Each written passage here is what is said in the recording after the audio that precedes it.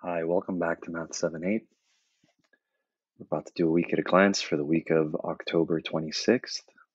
So let's see what we've got.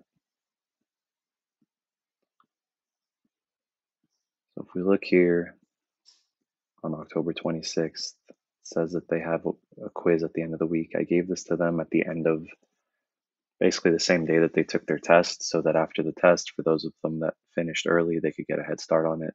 Otherwise, they were going to start a little bit later. We're still continuing on ratios and proportions. We're going to start talking about constants of proportionality as well.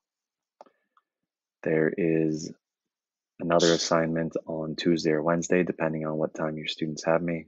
Again, quizzes next class. I have the answer keys as well as the actual worksheets.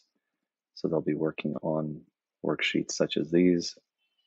And I have answer sheets such as these up that they can compare and check their answers with. Again, your students should not just be doing the work, they should also be checking their answers and going back and understanding if they got anything wrong, why they got it wrong, and how to do it properly.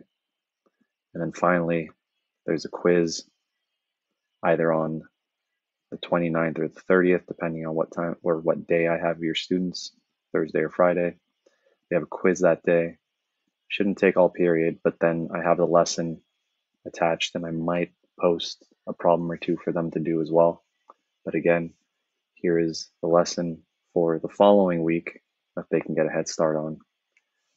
So the video is right there. Um, and that's it for this week. So if you have any questions, please let me know and I will see you next week. Thanks.